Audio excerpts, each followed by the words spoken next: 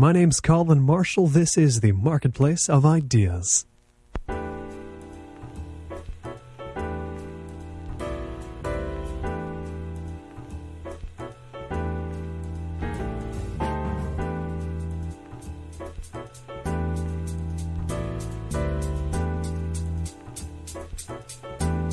This week on the Marketplace of Ideas, poet, playwright, and professor of English David Starkey, editor of Living Blue in the Red States, a new essay collection about living in a place that votes one way and voting another yourself. I think it's probably attractive to see somebody question their own beliefs and backtrack a little bit and, and look at things from different angles. And hopefully that would inspire the same sort of uh, thinking in a reader reader. I think that the commentary on television is just, it's meant to be entertainment and therefore it's finding the most extreme positions.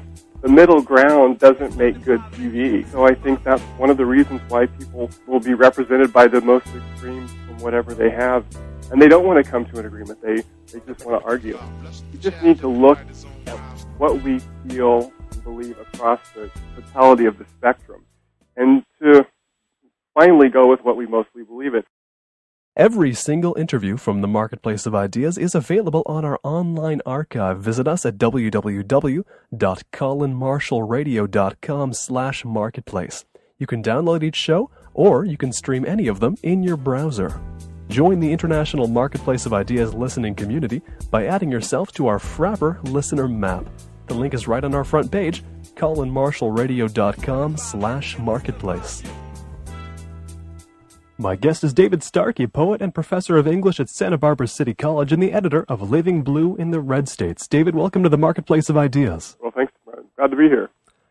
Now, the book, Red and Blue, the, the red and blue of the title referring to whether you voted Bush or Kerry in the 2004 presidential election.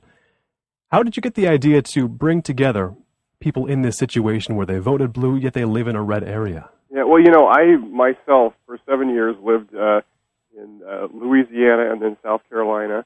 My parents are from uh, Texas and Louisiana, so I kind of grew up in a red household in uh, Central California. And when I was living down there during the um, election, actually when Clinton was uh, elected and then reelected, I noticed how outnumbered I often uh, felt by all the people around me. And so when um, Bush was uh, reelected, I, I thought, wonder what my old friends and uh, other people are thinking about right now. So I, I just wrote and asked them if they'd be interested in writing essays, and sure enough, they were.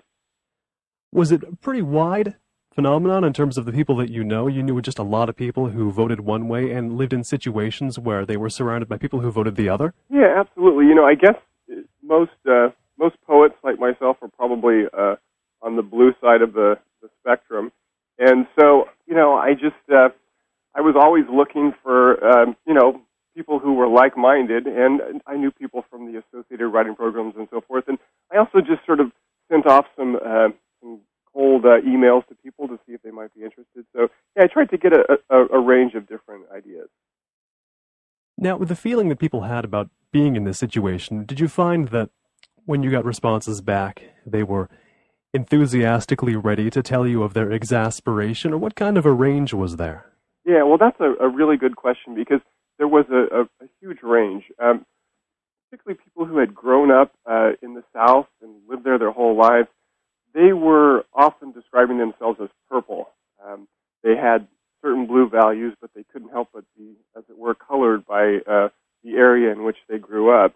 So I have, I have uh, one of the things that critics seem to respond to positively about this book is the fact that um, it's very well reasoned and, and people look at both sides of the question. Now, that's not to say that there aren't um, few essays in here that are really, really angry. Um, so it does cover the whole spectrum. And you personally, you what is your history? What are your red states? My red states. Yeah. Well, yeah, like I said, my I, my own red states are Louisiana and South Carolina, yeah, exactly. and also uh, going to visit my grandparents every summer in, in uh, southeast Texas and southwest Louisiana. What about those places shaped you to become? Are you are you purple, not purple, or whatever? What sort of purple, red, or blue? What composition are you? What color would you call yourself? I think I'm probably a pretty blue purple. Although I I wrote uh, an article for the uh, Omaha um, newspaper not too long ago, and I grew up going uh, hunting with my father, and I talked about the fact that I'll still go out and do a, what's a very red activity, and yet most of my beliefs are really in contrast with um, stereotypical views. As far as the conditions, the qualities that make someone red or blue or make them lean toward one side, is it entirely determined by the vote they cast in the 2004 presidential election, or is that just a proxy of a, another quality? Yeah, absolutely. That's that's that's what you just said is, is entirely true. A, a few of the contributors um, were kind of you know angry about the idea of, of this red-blue divide. Uh, David Romtvedt, who is the poet laureate of Wyoming, describes uh, first moving to his state and going to a poetry reading that was attended by cowboy poets, by lesbian feminist poets, by uh, a woman in her 80s who believed she was the reincarnation of an Indian maiden. And he embraces all those different ways of living in the world. So, you know, I think that how red and blue in, in, in the eyes of many of the contributors is a kind of false bifurcation. So the definition of red and blue didn't always track perfectly between contributors, or they just had different ideas about the validity of red and blue? I think both those things are true, yeah. Oh, okay, I see. So out of the group of contributors you found, these are a lot, there are a lot of academics, a lot connected with poetry. Is that true for all of them? Are they all? I, I couldn't quite tell. I was reading their bios and I was reading their pieces, and it seemed to be they were mostly academics. But it's hard to find a person in this book who's not an academic. I think that's true, and you know there were certain points where um, I thought, boy, I, I would like to to stretch beyond this point. But as I say in the um, uh, in the uh, introduction, we're really interested in good writing. That that was at least a primary concern as much as anyone's political beliefs. And as you know, a lot of people who are professional creative writers gravitate towards universities. So I think that explains that. Do you think, I, I suppose this is going to be a matter of, of conjecture, but do you think that people who adopt creative writing as a vocation or as an avocation and end up in a, in a university environment, do they bring blueness with them, or does being in that environment make these creative writers more blue? I think uh, they I think they bring blue with them, and I think that that does tend to to blue feeds on itself in that regard, just as red feeds on itself in in areas uh, in endeavors where most of the people are uh, involved are conservative. At least one of these contributors mentions the effect of being in, usually it's a university campus, but being in an island of blue and surrounded by red. Right. What what does that effect bring to their worldview? This the, the island of they have their immediate surroundings supporting their blueness, and that you go a layer out and it's red. Yeah, and I think I think you're referring to Sidney Burris, who teaches at the University of Arkansas at Fayetteville. Yeah. Um, you know, it, it, there is a little bit of a siege mentality, I think, that comes with that. I, I taught um, at Francis Marion University in Florence, South Carolina, which is one of the most conservative parts of the country. And even within our little uh, campus, there were plenty of uh, professors who were who were red. But in the English department itself, it was a pretty blue environment. I think you often felt like um, you weren't sure if you could say what you were really thinking without getting a lot of grief for it there's the, the kind of environment effect that you can tell at work in a lot of these pieces. Now, I wanted to go back a little bit to the 2004 election itself. How much did that specific election, how much did that motivate you to do this project? Was it just that, or is it more of a well? That that was thing? the that was the trigger. Um, you know, uh, can I read a paragraph for you? Oh, go for it. Yeah, I, I, let me just read the the first uh, first little bit of the book. Uh, on the evening of the 2004 presidential election, I sat at the computer in my Santa Barbara home and willed the voters in the Cleveland area precincts to carry Ohio into the blue Democratic column. I poured all my mental energy into it. If Ohio went for John Kerry, there might be just enough electoral college votes to tip the balance in his favor. But if Ohio voted Republican red, it was all over. Bush would be reelected, this time with a majority of both the popular and the electoral college votes. I sat there for hours like someone praying for the safe return of a ship he inwardly knows has already foundered. But each time new counts came in, they were no help. Kerry needed a sharp upturn in the number of Democratic votes, but that didn't happen. Most of the Ohio precincts were favoring the Republican candidate. Even the battleground city of Columbus was drifting right. Finally, I went to bed full of despair. And I think that was a really common experience for people who were Democrats. Um, you know, there was that headline um, in I think it was the London Weekly Standard that said, "How can 59,473,000 people be so dumb?" um, you know, there was a, just a sense of disbelief. What did you want to avoid in compiling these pieces together? Because now you've just read that headline, and were you afraid that there might be any sort of sneering quality to the pieces that you collected? Oh, sure, yeah, and you know, I did I did warn people about that. That was the when I solicited essays from folks, I I said let's try and avoid that. Let's you know let's think about both sides.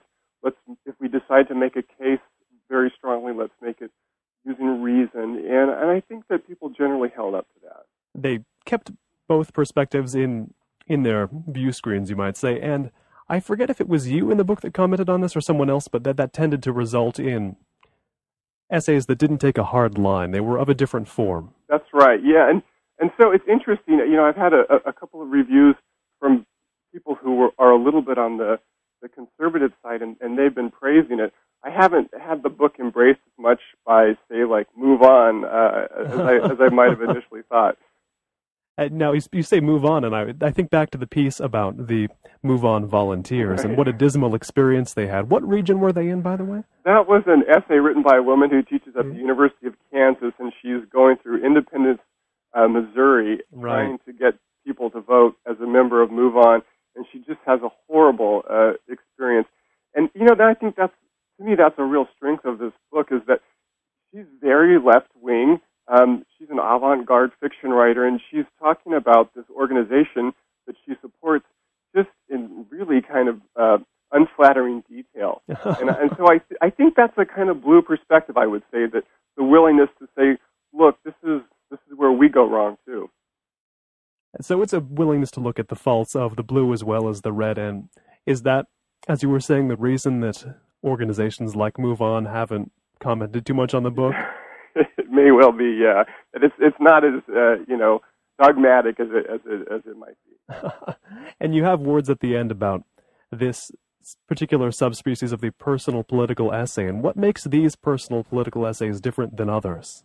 Well, you know, I as I was looking around, I realized that that's a relatively rare uh, type of essay.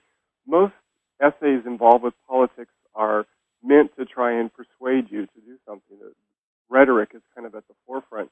And here, meditation and, and introspection are, are part of it. So I think that kind of that that's a, a sort of new mixture. I, I, I, you know, I'm I'm really proud to have a book here that, that showcases that word.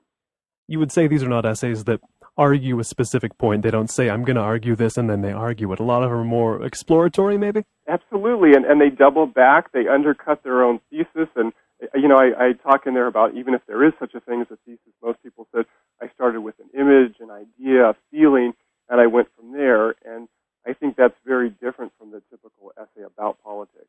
What surprised you about the contributions you received? Well, you know, I was just really pleased um, that so many essays came out that I thought so well. I was um, fascinated by the essay by my friend uh, Mona Lisa Saloy, uh, who was writing about fleeing Katrina and talking about Hurricane Betsy.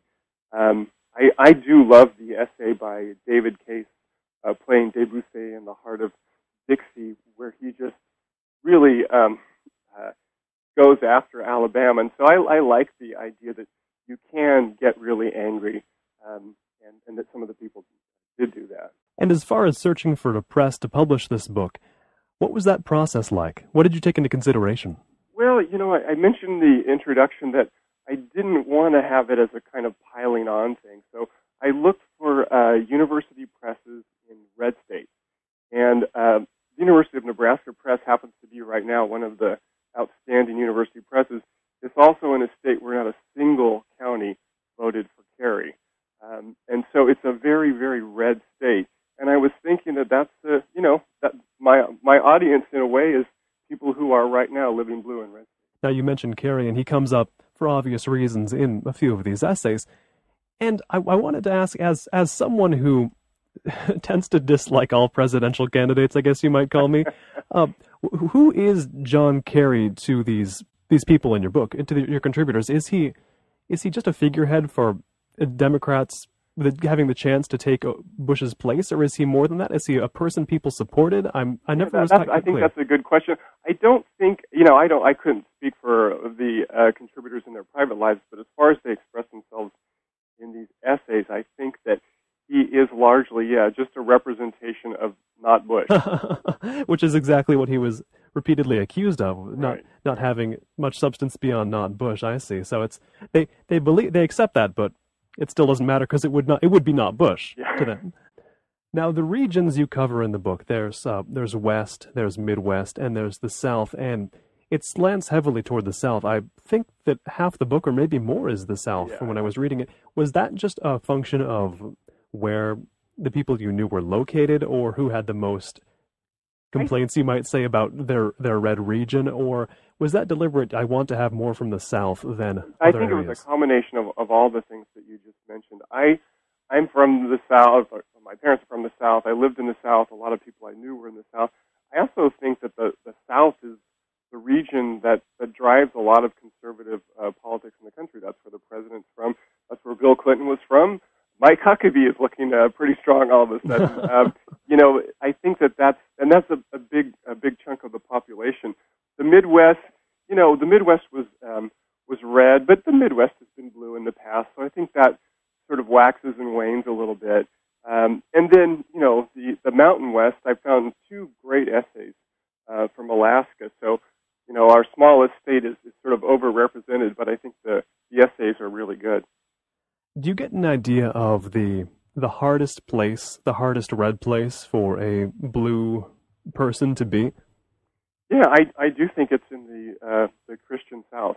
I think that's that's the place where people are most kind of in your face about what do you believe and do you believe what I believe. That was my experience, and I think that's a lot of experience of the contributors. One of the most interesting things about having so many academics is that a lot of them give perspectives on students that they've taught and how they vary from place to place. And what has your experience been as, as someone who's done plenty of teaching with students in red and blue areas? How do they Yeah, well, that's, that's a good question. Um, it seems as though you know the contributors find their students um, to be less politically active in general than than they were, you know, earlier in their own lives. And I found when I was living in, in South Carolina that my students were very conservative and very vocal about it. Um, as I've come back to California, um, you know, uh, for the last seven years, I guess I don't hear my students talking very much about politics at all. Do you think that there's just more of a blue environment here in Santa Barbara then, or is it is it that students have become more apathetic to politics? Well, you know, I don't know, and and that's obviously just my own sort of little sliver of experience. I know that we have a lot of politically active students that are probably listening to this program right now, so I don't I don't want to generalize. Um, but my own experience, at least teaching creative writing at Santa Barbara City College, has been that that's not uh, an issue that people write about very often. As far as having the the red students and the and the blue faculty be an issue for many of the contributors, is is that faculty student conflict something that's something that is a major issue in, in red areas? I haven't spent too much time in them. It, it seems like it might be it might be an issue where the faculty is much bluer than the students themselves. You know, I think you hear uh, stories about students complaining about their professors and, and vice versa. I guess my experience, um, and I think the experience of a lot of the people that I know, is that there is a little bit of reaching out on either side in the classroom itself. So, um, if you're a student, you your professor is going to be grading you, so you may give an extra listen to something that you otherwise might not believe in. And obviously, if you've got um, 30 people sitting in your classroom who have a different belief, I don't think you can just monologue. You try and engage students. So I think it's a good place for that sort of coming together to occur. And speaking of, I wanted to ask you this: who, what sort of reader is the collection targeted toward? Who, who is the living blue in the red states reader in your mind? Well, I think I think it's probably both people. I you know initially thought it was it was mostly a blue audience. I think now that that people who are conservative um, are finding things that they can read and understand. I had a um, an email the other day from uh, my friend Andrew Klavan, who is a detective novelist who lives in town and is conservative, and he was, uh, you know, reaching out, and, and I thought, well, that's a that's a good sign. I'd like to have him as a reader. For those just tuning in, my guest is David Starkey, poet, playwright, and professor of English at Santa Barbara City College, editor of Living Blue in the Red States, a new essay collection about voting one way and living in a place that votes another. And you also mentioned earlier that you've gotten some positive press from conservatives. What about the book brings that forth? What about the book makes it not offensive to the yeah, red you know. I, like I said, I think it's mostly just the fact that that people are willing to sort of slow down and state their positions. I think it's probably attractive to see somebody question their own beliefs and, and backtrack a little bit and and look at things from different angles. And hopefully, that would inspire the same sort of uh, thinking in in a you know a redder reader. Is that a response to what you may or may not have seen in mainstream blue commentary? I think that that the commentary and, and again Sidney Burris talks a lot about this in his essay on television is just it's meant to to be entertainment and therefore it's finding the most extreme positions. The middle ground doesn't make good TV, um, and so I think that's one of the reasons why people will have will be represented by the most extremes from whatever they have, and they don't want to come to an agreement. They they just want to argue. One of the things from Sidney Burris, one of the, my favorite lines from his piece, is that he describes living blue in a red state as being a certain hell now again, but it's largely an abstract hell. And what does he mean by that? Yeah, well, that's interesting because you know he um, he quotes uh, Orwell's essay on on politics and political speech, and and he um, feels this and I, I think people do register this throughout the book that we have this big kind of circus once every four years, and then things drop back to normal. And you know, he's getting the sense that I'm watching this on TV, but how does it really connect with me? That's something that uh, John Lane, in his essay called "Safe," talks about, where he's remembering the um, the death of his, uh, his great aunt and his mother, who were both conservative, and just that feeling of being both apart, but also wanting to reach beyond the sort of you know the politics of the moment. The effect of living on the in a, in a blue zone of a red state. Some contributors, at least one, have said that it's not it's not all bad. There's some appeal in being the misunderstood minority. How true do you think that is? Well, I think that's probably a, an appeal. Uh, you know, um, wherever you live, to, to be the person who everyone else is saying you're crazy, but you somehow know that that, you, that you're in the right. So I think that is probably uh, slightly attractive. And it's something that's lost if you go to a, a bluer area. Have you have you found that? Yeah, absolutely. Although you know, it's interesting. I I think Santa Barbara is a relatively blue place, but I will often hear people uh, who are blue complaining that it's a lot redder than um, than we admit, partly because of economics. Sort of a stealth red, you might call it. That's a good phrase. Well, at least as you describe, it's uh, it is bluer than the places to the north and south. So you, if you are a, a blue voter, you're a little more at home. Yeah, and you know it's it's interesting. We, we break uh, uh, the country up into states for the electoral college, but if you look by precinct or county, uh, you know uh, California itself is very red in the, the center. My hometown of Sacramento um, is, is red. Uh, the county to north of us, San Luis Obispo, and to the south, I think both voted for Bush. We have red and blue states, and there's red and blue counties that you look at in the book as well. How how small a unit of measurement can you go to before that kind of breaks down? I mean, you've talked about go right into to people's bedrooms, you know. you talk about the the red and the blue people that exist. Is and that, is it mostly that they're are they mostly shades of purple? Is what I want to get at. Yeah, I think I think that's probably true. Go back to the, that uh, editorial I wrote for the Nebraska uh, paper, my argument was essentially that we just need to look at what we feel and believe across the totality of the spectrum, and to finally go with what we mostly believe in. I mostly believe in, in uh, positions that are supported by Democrats, so therefore I think it makes sense that, that I would vote that way.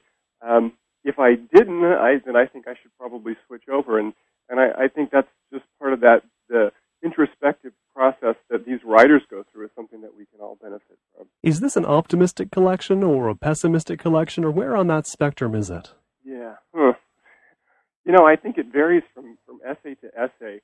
Uh, in general, I guess I would say it's, it's slightly more optimistic.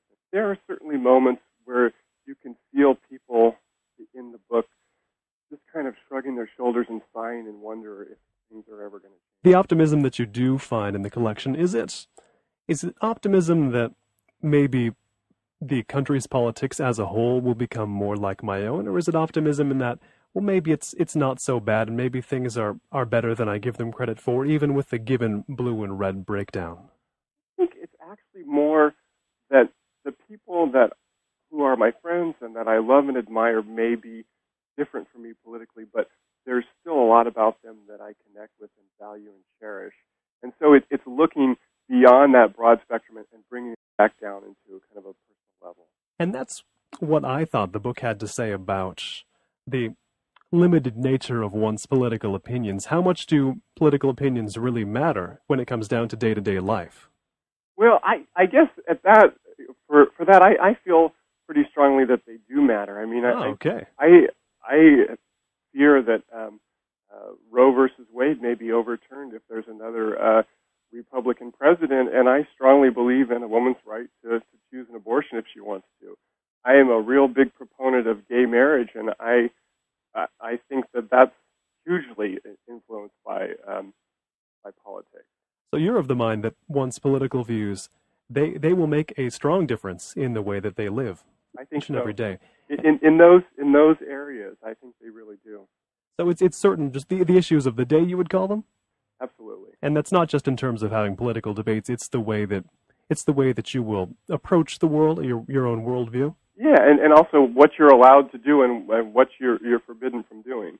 That's not a view that's shared by every contributor. Was the feeling that I got. Some put more weight on politics, and some put less. Absolutely. Yeah. One, I believe, I, I forget which contributor it was. The the name slips my mind, but you'll be able to tell me. I'm sure is the one who talked about his Facebook exercise, and what was that all about? Yeah, and again, that's our friend Sidney Burris at Oh, it's, Arkansas. it's him as well. He Yeah. did. A, that was a, must have been a long piece or something, or just a detailed one. It's a very long essay, a very good essay, but I think it's probably about 40, 45 pages in manuscript.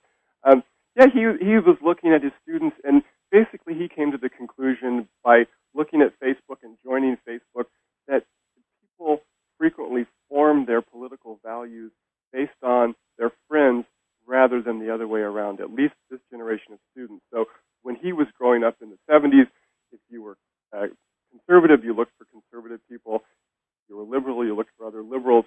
Now he thinks you look for people that you like, who have similar interests, and then your own political beliefs evolve from there.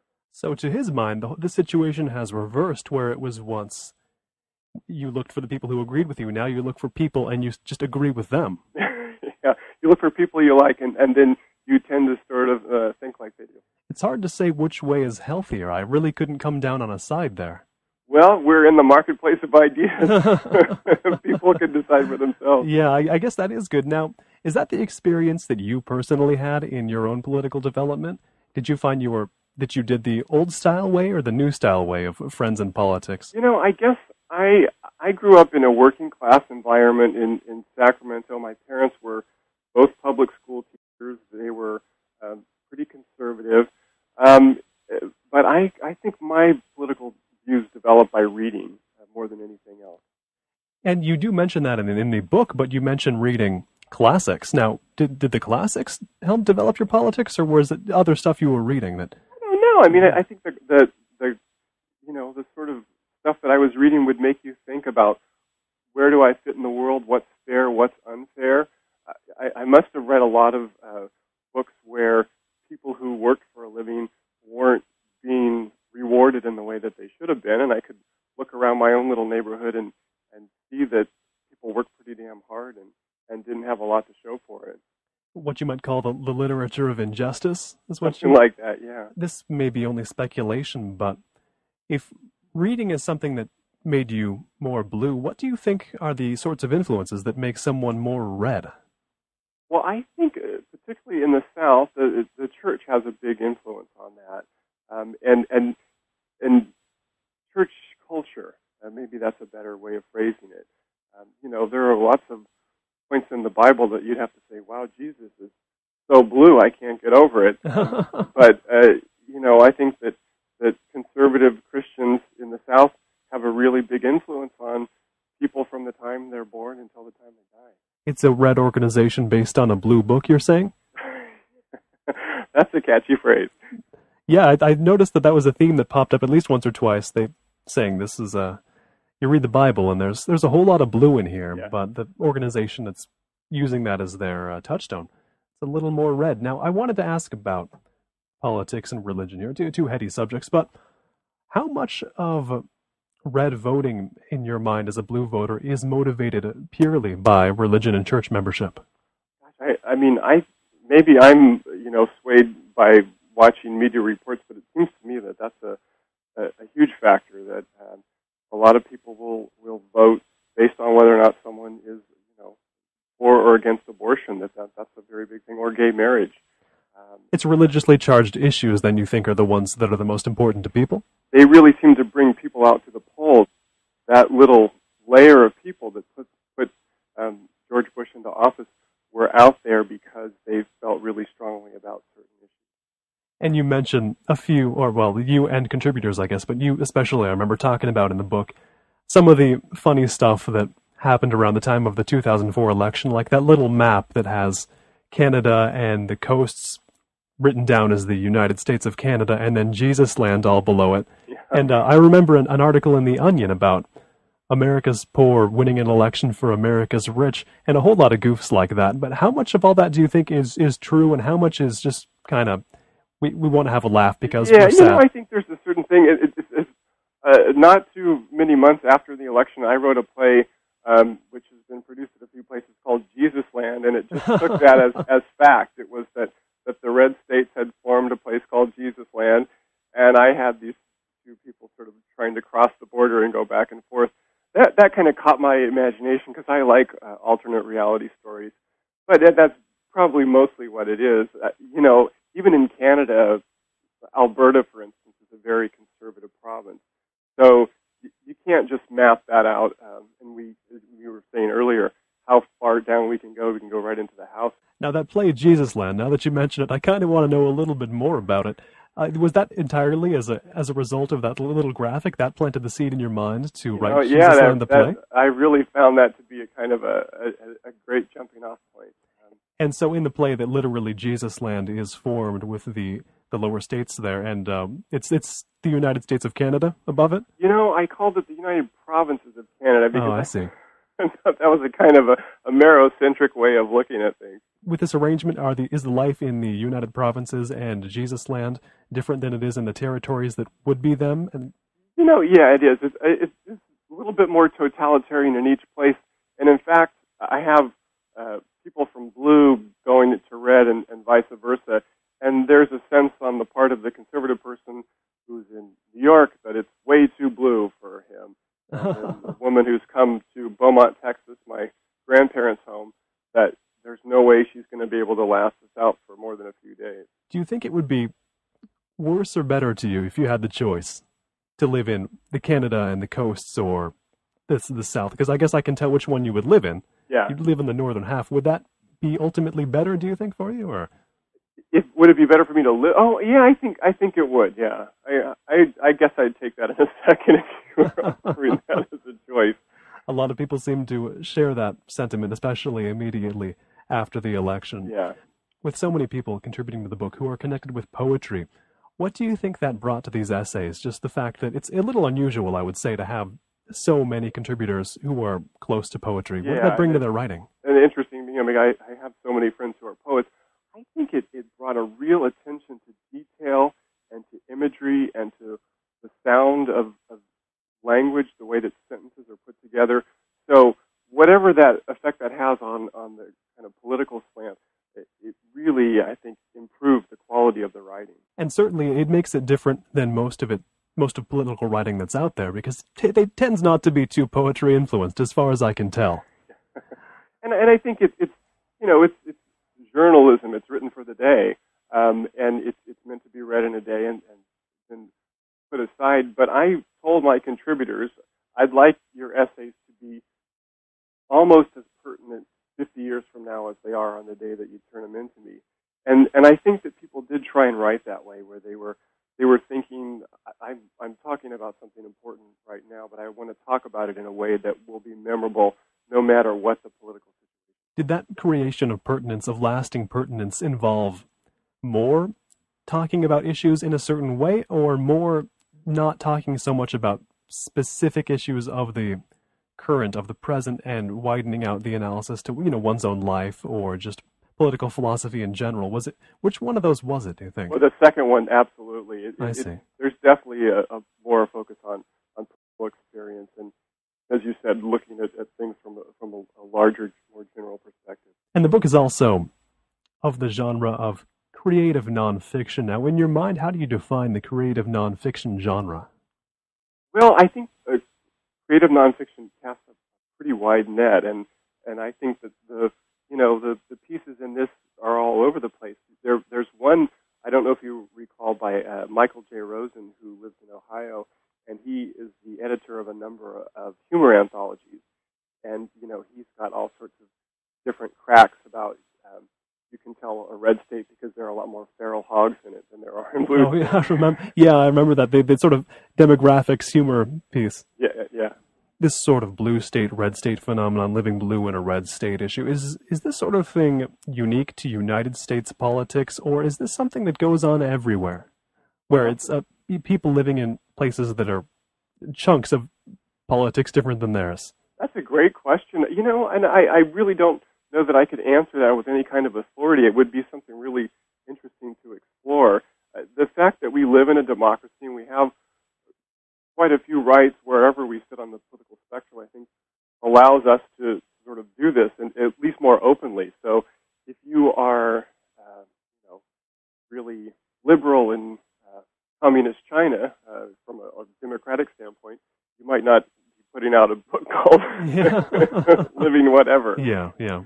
Even in places with press freedom, there's there's different variations on democracy, and it got me wondering whether or not, say, a place that has proportional representation versus, you know, first past the post as we have, whether they have that same feeling, or people in smaller countries. What what do you think the size of the United States has to do with this Oh, red yeah, state, blue that's, state effect? that's really a, an excellent point. I think that makes a huge difference. The fact that we're such a diverse people, we live all over the place.